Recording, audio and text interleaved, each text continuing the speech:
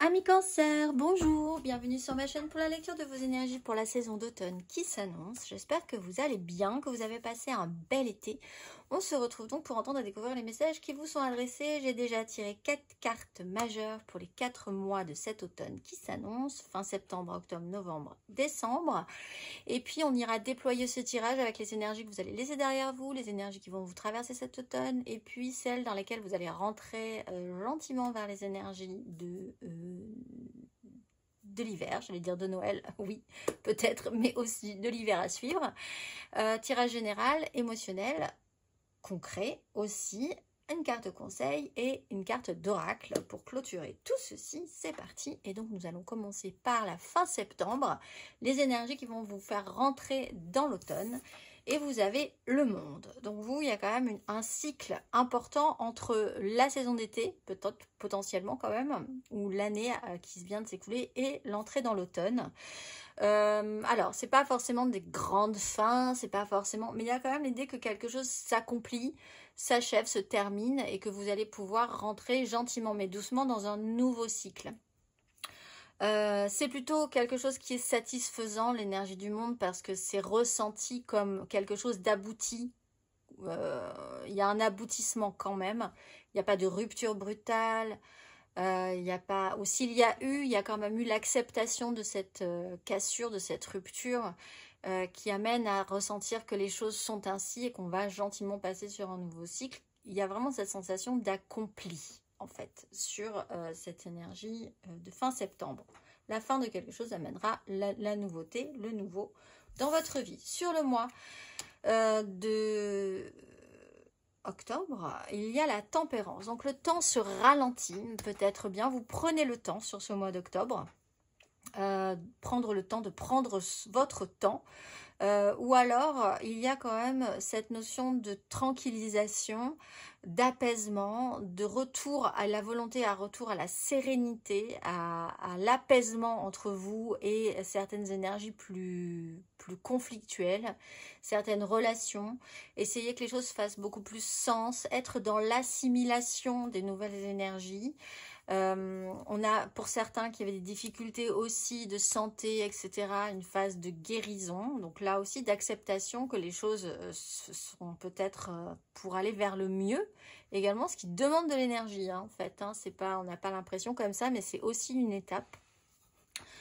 Pour le mois de novembre, vous avez la route fortune. Alors là, hop, les énergies vont bouger sur le mois de novembre. La haute fortune, c'est une occasion, quelque part en or, de pouvoir agir. Là, on vous dit, vous êtes sur un échiquier, je prends souvent cet exemple sur la haute fortune, et vous étiez, les pièces étaient posées de telle manière, et là, euh, vous fermez les yeux, vous clignez des yeux, vous rouvrez les yeux, et vous voyez que toutes les pièces ont bougé. Ça se passe très vite, généralement. Et là, votre positionnement, vous, euh, doit, vous allez devoir agir sur votre positionnement. Vous n'avez absolument aucune maîtrise de comment les choses bougent autour de vous. Faut juste le voir, le comprendre aussi, accepter que les choses bougent que ce soit dans des énergies positives, négatives, vous étiez dans des très hautes énergies, ben vous allez voir que vous allez avoir un petit creux.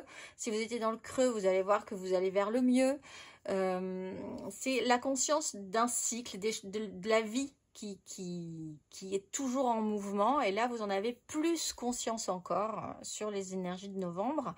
Si vous voulez changer des choses, c'est le moment. Ça, c'est vraiment la chance de la route fortune. C'est que s'il y a des choses qui peuvent changer, c'est dans ces énergies-là. Et vous, avez, vous pouvez avoir une action. Non pas sur les autres ou sur la vie, mais sur vous-même et la façon dont vous allez vous envisager dans telle ou telle situation. Et sur le mois de décembre, vous avez la grande prêtresse. Alors, on a, je vous le dis, comme vous, comme à tout le monde à peu près, euh, une, entrée dans l'hiver qui amène, alors évidemment c'est l'hiver, donc qui amène à revenir à soi et à une certaine introspection et à un certain silence. Euh, donc, c'est peut-être général et vous faites partie, vous ressentez aussi fortement ces énergies. Mais la grande prêtresse, c'est quand même euh, une perception juste des choses.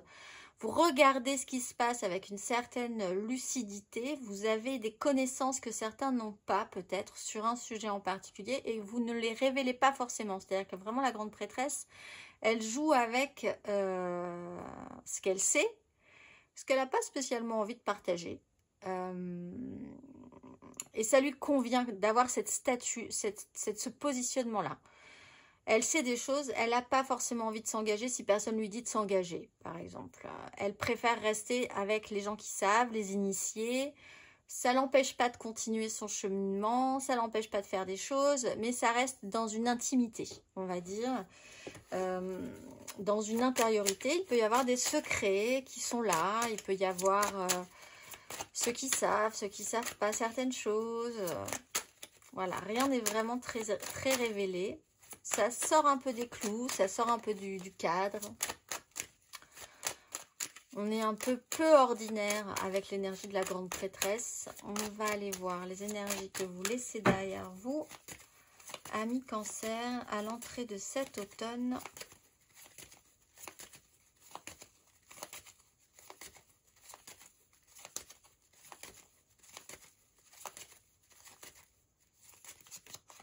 le diable, la neuf de coupe, la neuf de denier. Hmm. Alors, vous vous êtes peut-être perdu un peu corps et âme dans quelque chose. Un projet, un travail, une relation. Quelque chose qui devait vous apporter joie et félicité et en plus, concrètement, matériellement, une satisfaction dans la réalité de votre vie. Euh, là, il y a eu quand même un côté pile et un côté face à cette situation. De vous sentir aussi, c'est ce que vous laissez derrière vous, obligé, attaché, contraint à quelque chose, mais quand même obligé parce qu'il y a au fond un avantage à être attaché à cette situation, obligé de faire quelque chose. Pour certains, il y a un fonctionnement euh, quelque chose de connu qui a pu être aidant à un moment donné, qui est peut-être rassurant, mais que vous avez dû traiter aussi. C'est la fin d'une addiction, la fin d'un comportement un petit peu toxique, la fin d'une euh, relation euh, qui peut-être un petit peu, qui vous a un petit peu, qui a eu ses bons et ses mauvais côtés, mais qui a eu aussi ses mauvais côtés. vous laissez le côté excessif des choses dans votre vie, dans vos énergies ça, vous allez le laisser derrière vous. On va aller voir à mi-cancer votre énergie sur cet automne.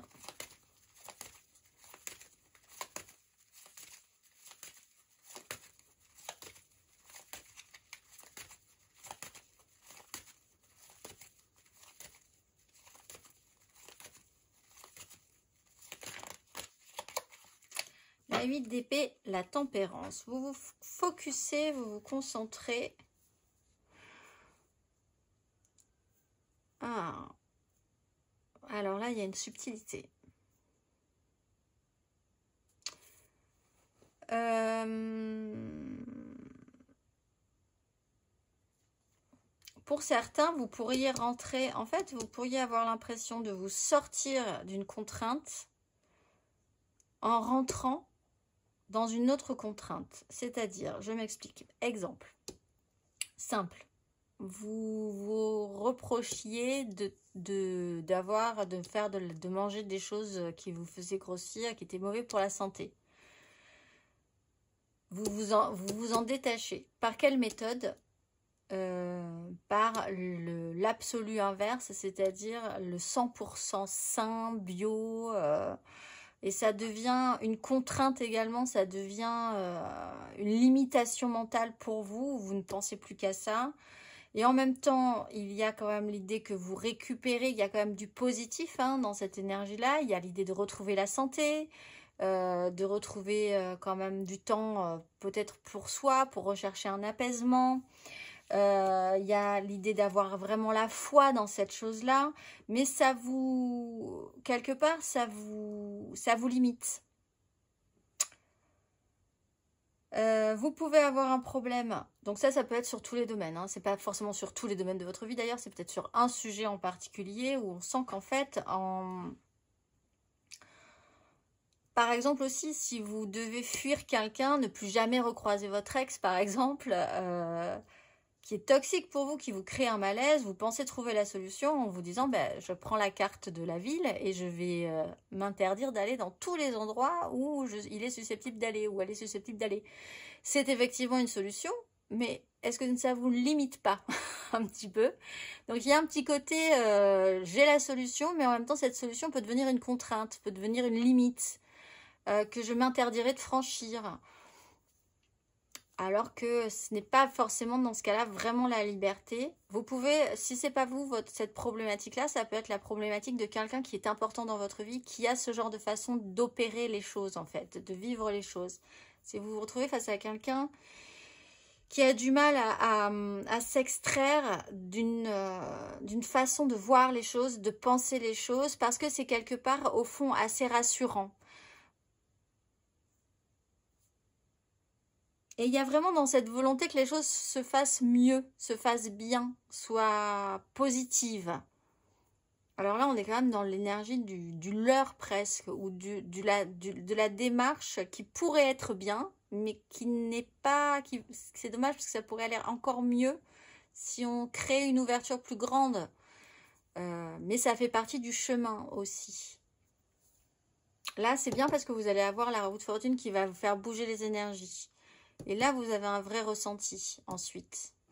La bonne intuition. Mais là, effectivement, sur, ce, sur ce, cet automne, on a ce moment où vous êtes obnubilé par quelque chose, focusé sur quelque chose, en, étant sûr que c'est une, une idée, c'est une pensée, c'est une certitude qui vous sécurise. Et en même temps, cette pensée vous limite. Ou limite et sécurise en même temps quelqu'un qui est très important pour vous. Hein. Et du coup, ça vous empêche, vous, d'arriver à atteindre cette, euh, personne, ce projet, etc., etc. On va aller voir à la fin de ce parcours, ami cancer et à l'entrée de cet hiver,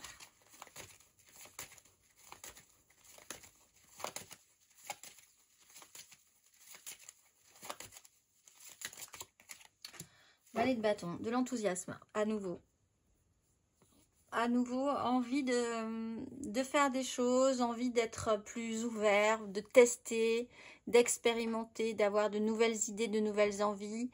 Un petit peu le retour du feu, quoi, hein, du positif, euh, de l'enthousiasme.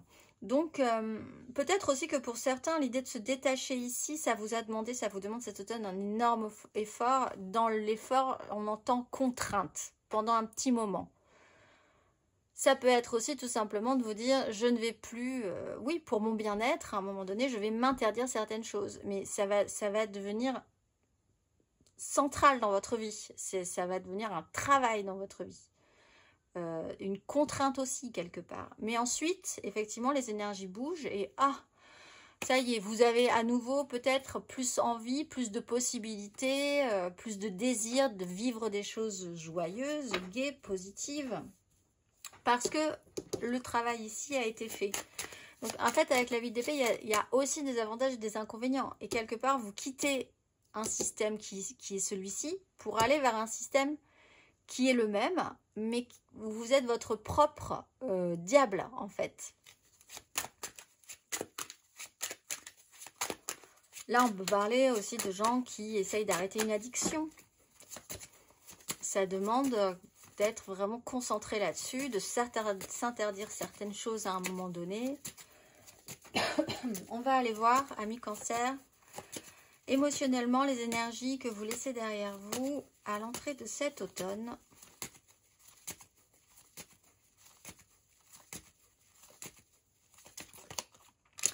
Sept de bâton, reine de bâton. Alors, un système de lutte et de défense par rapport à quelqu'un ou par rapport à votre euh, voilà, ce que vous voulez, ce que vous pouvez attirer à vous, pourquoi vous l'attirez à vous? Est-ce que c'est vraiment ça que vous vouliez attirer à vous? Ça aussi, parce que des fois, on a un pouvoir d'attraction et on se dit, mais en réfléchissant un peu, c'est pas forcément ça que j'aurais voulu. Au final, qu'est-ce que je cherche comme ça à attirer certaines situations, certains comportements? Qu'est-ce que ça rassure en moi aussi? Parce qu'avec la 7 de bâton, on a ce système d'assurance d'être euh, dans une crainte de lutte et de défense par rapport à quelque chose. Il y a vraiment euh, l'idée que quelque chose est difficilement atteignable et en même temps vous vous reculez pas face à cette chose. Euh, et avec la peur, la, la crainte de ne pas être suffisamment capable aussi. Donc là, on peut parler vraiment aussi pour ceux qui ont des difficultés avec certains comportements, certaines personnes, certains fonctionnements, un métier dans lequel ils sont, c'est compliqué, etc., etc. Euh, ben là, on est quand même dans l'émotionnel. Donc, euh, il y a un côté combatif quand même, mais qui n'avance pas beaucoup, qui est quand même laissé derrière vous. On va aller voir sur cet automne, émotionnellement, mi-cancer.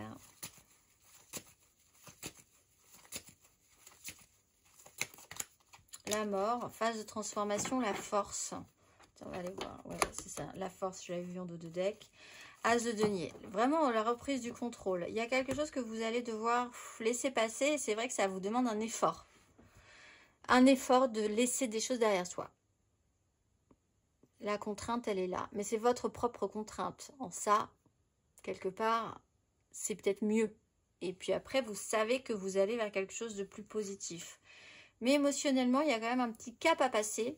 Laisser des choses derrière soi, se transformer, changer, être différent. Être différent euh, sans, euh, sans cette relation, être différent sans ce fonctionnement, sans cette addiction, sans ce, sans ce comportement, oui, sans, sans différents dans des lieux différents. Voilà, toute une métamorphose de vous-même, émotionnellement, relationnellement.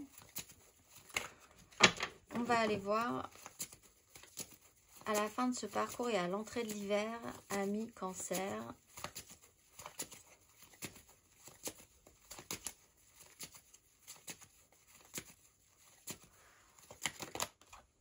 Cavalier de bâton, tempérance. Bon, après, euh, vraiment, on a une énergie qui repart vraiment forte. Donc euh, oui, cet automne, c'est vraiment la bonne, euh, la bonne période pour arrêter quelque chose. Parce que de toute façon, vous serez vraiment concentré sur le sujet. Ou alors, comprendre aussi que peut-être, si la, la difficulté ne vient pas de vous, mais vient de l'extérieur, il va peut-être falloir laisser passer ces énergies-là, ces gens-là, ces situations, pour vous, aller vers quelque chose de plus positif pour vous, plus enthousiasmant, plus intense, plus actif. Avec un cavalier de bâton, hop, après, euh, on est vraiment dans une activité physique, dans un élan, dans quelque chose de très sincère, vivifiant, vivant. Euh, on n'est plus du tout dans un système de lutte et de défense. On a lâché la bride, on est libre, on court tel un cheval euh, sauvage dans la prairie. Il y a quand même beaucoup plus de liberté après. Après cette étape-ci, vous serez moins dans le ressenti de contrainte. Euh, vous serez plus dans la sincérité, plus dans, dans, dans la positivité. On va aller voir. Ou alors, c'est vraiment du coup de laisser la place aussi à des personnes qui sont dans ces énergies-là, plus positives, plus enthousiastes, plus énergisantes. On peut parler de signes de feu aussi, bélier, lion, sagittaire qui amène un peu de peps. On va aller voir Ami Cancer, célibataire pour cet automne. Le soleil, mise en lumière, 10 de bâton et vous apprenez de la situation. Euh, vous, il y a quand même quelque chose d'extrêmement positif dans cette prise de conscience, l'idée de porter votre fardeau jusqu'au bout, au bout du bout du bout. Et après, la libération, l'expérimentation est vraiment intéressante. Vous allez apprendre des tas de choses sur le sujet cet automne. On va aller voir les cancers en amour flou. 6 de denier, l'étoile. Alors, prêter pour un rendu, les échanges, un système de dépendance. Je te donne, tu me donnes, tu me dois. Je t'ai fait ci, tu m'as fait ça, donc je te dois ci, je te dois ça. Ah bon? D'où? Euh, L'idée d'avoir une croyance par rapport à ça de vous sentir euh, redevable de quelque chose, euh, de sentir que de, de croire vraiment fort que quelqu'un vous doit quelque chose. Il y a aussi cette idée que les efforts payent. Au bout d'un moment, les efforts vont payer.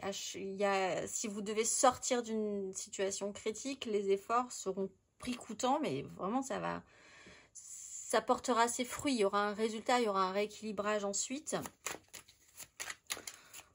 On va aller voir les cancers en couple. l'impératrice, l'empereur. Alors là, cavalier de denier. On a un couple.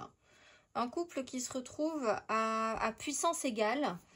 Euh, qui arrive quand même à faire des choses très intéressantes, qui a euh, vraiment un pouvoir euh, et, une, capacité à créer quelque chose. Alors peut-être que vous, vous vous lancez dans une création personnelle, vous décidez de faire quelque chose ensemble donc euh, de vous d'arrêter d'être en lutte, bah, vous pouvez décider d'arrêter de fumer par exemple ensemble. Ça peut être euh, un projet commun. Là on parle d'un projet commun, ça peut être un projet euh, professionnel, un projet à faire quelque chose ensemble, à rendre quelque chose de positif. On est vraiment sur cette notion-là et d'être d'égal à égal. Il y a vraiment cette, vous êtes vraiment sur les mêmes, au même plan. et là, du coup, il y a peut-être quelque chose qui se modifie, du coup, aussi, parce que vous êtes sur le même plan. Il n'y en a pas un au-dessus de l'autre. On va aller voir, amis cancer. Matériellement, concrètement, ce que vous laissez derrière vous à l'entrée de cet automne. Les énergies que vous laissez derrière vous à l'entrée de cet automne.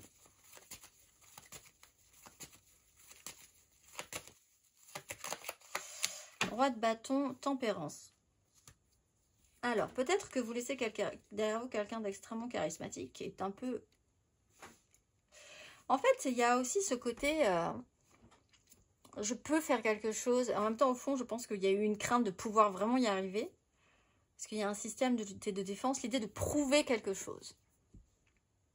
Là, vous avez peut-être eu besoin de prouver quelque chose à un moment donné. Euh, d'être dans une représentation de vous-même. Le roi de bâton, euh, c'est quelqu'un qui est dans la représentation, euh, qui est dans le, dans le pouvoir, qui est dans les énergies où ça se voit. C'est quelqu'un qui emballe tout le monde, qui... Alors, soit ça a été une personne comme ça qui a été un petit peu particulière dans votre vie hein, et que vous allez laisser derrière vous. Et là, il y a un apaisement par rapport à cette idée-là ou cette personne-là, mais ça a été compliqué. C'est peut-être quelqu'un qui a pu être à un moment donné un peu toxique parce qu'il prend toute la place. En de bâton, ça prend toute la place. C'est quelqu'un qu'on suit, qu'on est obligé de suivre. Euh, c'est une image que vous vouliez avoir aussi. Euh, on peut parler d'un signe de feu, encore une fois, de quelqu'un d'extrêmement dans cette puissance-là. En ce cas, vous pourriez vous redescendre d'un grade quand même. On va aller voir votre énergie sur l'automne. Ami cancer.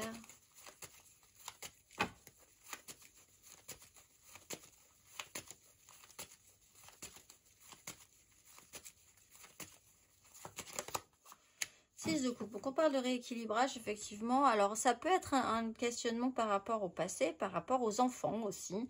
Un rééquilibrage émotionnel, un réajustement. Euh, comprendre aussi que tout, ce que tout ce qui a été difficile ici vous a apporté des choses. Vous êtes en phase de compréhension et d'assimilation. Hein. Donc on est en phase de guérison sur un sujet.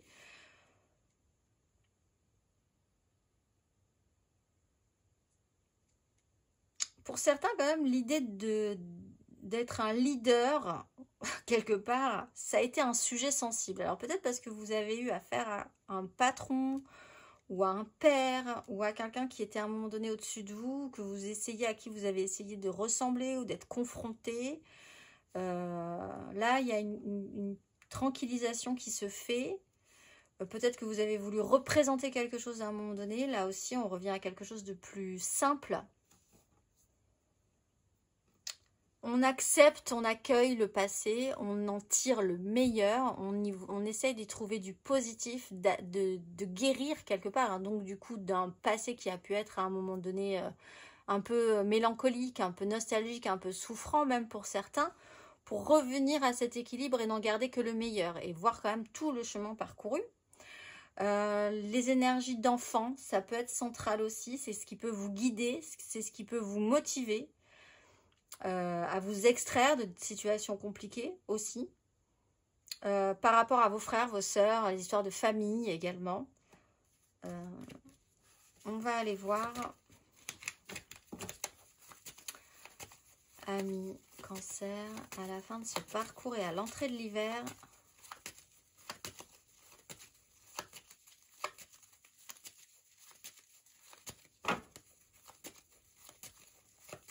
cancer. 8 de bâton, As de coupe. Oui, ça arrive. Tout à coup, il y a quelque chose. Une fois que vous avez passé cette étape, vraiment, vous allez vous sentir beaucoup plus libre d'accueillir la nouveauté. As de coupe, 6 d'épée, on prend de la hauteur. Tout ça, c'est derrière vous. Vous changez d'énergie, vous rentrez dans l'hiver avec un effet surprise, un effet... Euh, d'action positive, de sincérité. Les choses sont beaucoup plus... Euh, alors, c'est surprenant, hein. la 8 de, bâton, vraiment, euh, le rythme, il va être étonnant. Là où ça va vous amener, c'est vraiment, ça va être la surprise, ça va être quelque chose d'assez... voilà, attendez-vous à ce que ça vous... Vous perdiez un peu l'équilibre à un moment donné, que ça soit quand même une espèce de fulgurance, une surprise, des communications, des annonces quelque chose qui va vous apporter de la matière et cette matière, elle est positive. Elle vous amène de la vie, elle vous amène euh, de l'énergie, elle vous amène euh, à vous sentir euh, puissant, en équilibre et avec quelque chose de nouveau qui se présente, un as de coupe.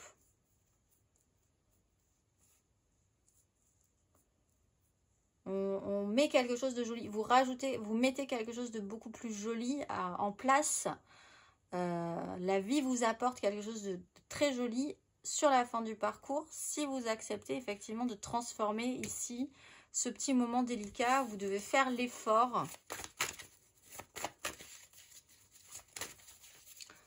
euh, à un moment donné. On va aller voir le conseil pour nos cancers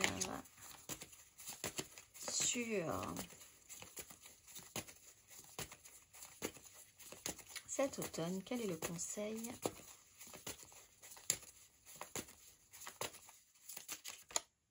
Huile de denier, 3 d'épée. Ben, il y aura effectivement de la matière, il y a du travail. Comprenez bien qu'on va, vous allez devoir expérimenter et euh, si c'est pas réussi du premier coup, ça le sera du troisième, du quatrième, du sixième. Du cœur à l'ouvrage, vous allez travailler. cet automne à réaliser quelque chose. 3 euh, d'épée, on part quand même d'une réalité qui a été difficile, de quelque chose que vous allez devoir guérir. Euh, et là, il y a du boulot. Et là, vous allez vous relever les manches et vous mettre à la tâche. Si c'est raté du premier coup, ne paniquez pas, remettez-vous-y. Euh, il y a des choses à faire cet automne pour arriver, laisser, pour arriver à avoir toute la place nécessaire ensuite et pour accueillir quelque chose qui va un petit peu vous emporter sur les énergies d'hiver. Et euh, bah, il faut être prêt. Et là, c'est ce que vous préparez peut-être bien. On va aller voir le message de vos guides. On vous demande aussi peut-être de réfléchir aux questions finances. Euh, essayez quand même de préparer certaines choses pour vous sentir libre financièrement peut-être aussi. Amis cancer, on va aller voir le petit message de vos guides. Qu'avez-vous à entendre pour traverser sereinement cet automne? Amis cancer, quel est le message Qu'avez-vous à entendre?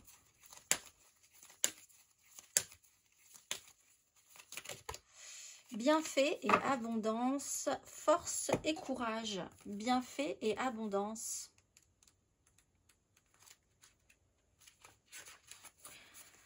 L'abondance, c'est la récompense spirituelle pour avoir cru en nos dons et talents et les avoir partagés. Quand nous alignons nos choix et nos actions sur le meilleur, nous sommes comblés d'opportunités. En ce moment, vous êtes dans un espace de profonde connexion et de force qui vous donne l'occasion d'apprécier votre richesse spirituelle.